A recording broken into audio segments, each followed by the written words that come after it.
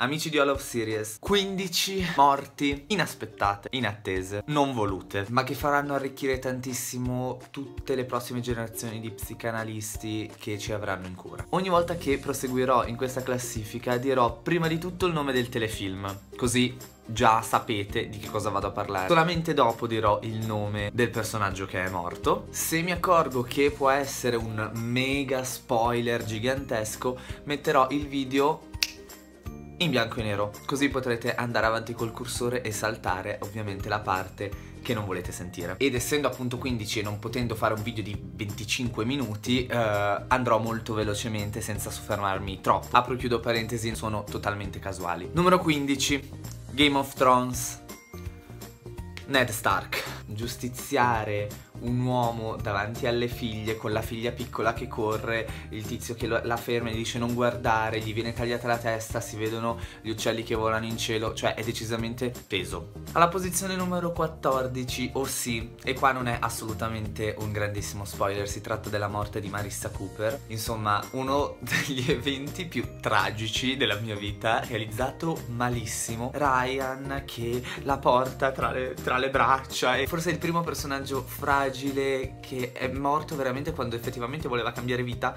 Mi devo ancora riprendere, sono passati anni. Posizione numero 13 per Sons of Anarchy e non potevo non mettere il suicidio di Jackson Teller, di Jax Teller. Grandi uscite di scena dei personaggi che appunto muoiono all'interno di una narrazione di un telefilm. Il fatto poi che Teller scelga di eh, suicidarsi sulla stessa strada su cui era morto suo padre rende tutto molto più drammatico, poi tutto questo quello, le scene che ci sono prima, il cimitero, insomma sono momenti particolarmente forti. Lasciamo perdere, andiamo avanti. Dodicesima posizione, Skins, il personaggio di Chris. Più che altro partito come personaggio sgradevole, lo vediamo morire proprio nel momento in cui sembra che si stia per rialzare, sembra avere tutto, cioè un po' come Marissa, nel senso questi personaggi un po' così, nel momento in cui sembrano tirare fuori il buono che c'è dentro di loro, Undicesima posizione The Walking Dead e mi riferisco al personaggio di Glenn.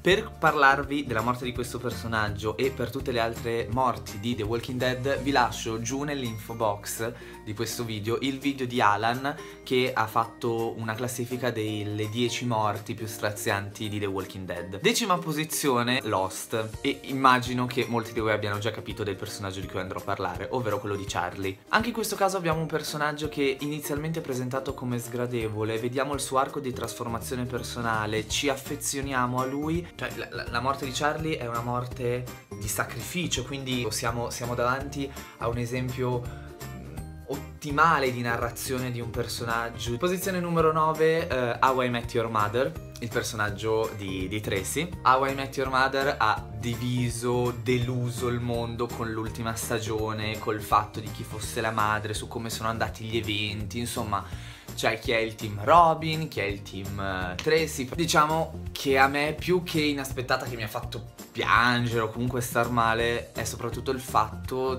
che non, non me l'aspettavo. Posizione numero 8 per i 100, io lo chiamo i 100, e vi voglio parlare del personaggio di Lexa, eh, morta per un colpo di pistola allo stomaco che aveva sparato Titus. Insomma, la scena della sua morte, eh, de di queste ultime sue frasi scambiate con Clark sono decisamente drammatiche, ci sono rimasto decisamente male. Posizione numero 7 per How to Get Away with Murder, quindi fermi tutti, se non avete visto la terza stagione andate subito avanti. Personaggio di Wes. Tutto quello che concerne la morte di Wes Beh, ci sono tantissimi dubbi, per già solamente il fatto che ci sia una grande confusione fino alle ultime scene dell'ultimo episodio nel cercare di capire chi lo abbia ucciso, ma poi per di più ho letto delle teorie sul fatto che effettivamente Wes è morto o no, perché questa cosa della cremazione a molti non è andata giù, quindi insomma, posizione numero 6, Ben di Scrubs. Scrubs è un telefilm che ha saputo fare della demenzialità il suo punto di forza, poi ti sparava questi momenti di, di drammaticità allucinante, quindi quando, quando JD chiede a Perry uh, dove crede che siamo? E, e, e cioè boh, ma poi c'è tutto sono solo lacrime e lacrime e lacrime. Posizione numero 5, uh, Orange is the New Black.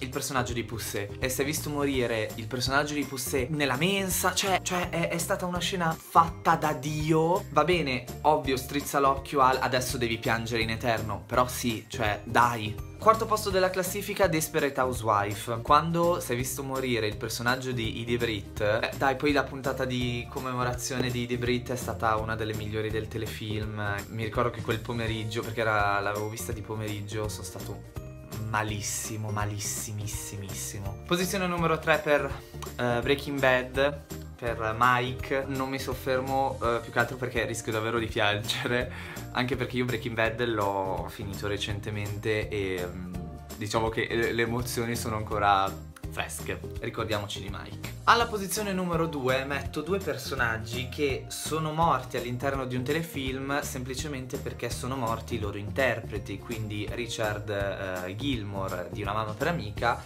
e Flynn di Glee. Gli sceneggiatori di entrambi i telefilm sono riusciti comunque a gestire uh, questa cosa dal punto di vista della narrazione nella maniera più, più pulita. Posizione numero 1 e con qui io mi preparo altri fazzoletti. Non potevo non mettere lui, Derek. Tipo, cioè, no, non so se vedete gli occhi lucidi, ma Grace Anatomy per me è stato ed è ancora una Bibbia. È stato lo spoiler degli spoiler. Però non sei pronto, non sei mai pronto. Bene, aggiungete voi qua sotto tutte le morti che vi hanno più traumatizzato. Se sono spoiler avvisate. Nell'info box trovate mm, tutti i link per uh, andare a vedere il mondo di All of Series. Iscrivetevi a questo canale per non perdere i prossimi video. Anche io sono All of Series anche se adesso ho voglia solamente di piangere. Ci vediamo appunto ai prossimi video. Ciao!